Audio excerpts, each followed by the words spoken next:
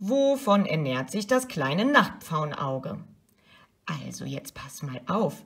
Dieser Schmetterling isst nämlich gar nichts. Erstmal ist ein Schmetterling eine kleine Raupe. Das sieht aus wie ein ganz kleiner Wurm.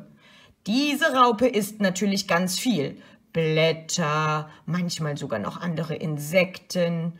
Und wenn die genug gegessen hat und schön groß und dick geworden ist, kann sie sich verpuppen und verwandelt sich irgendwann in so einen tollen Schmetterling. Wenn der Schmetterling allerdings dann einmal da ist, macht er einfach nur noch kleine Kinder und stirbt dann sofort. Deswegen braucht er dann nichts mehr zu essen. Oh, das ist natürlich ein bisschen traurig.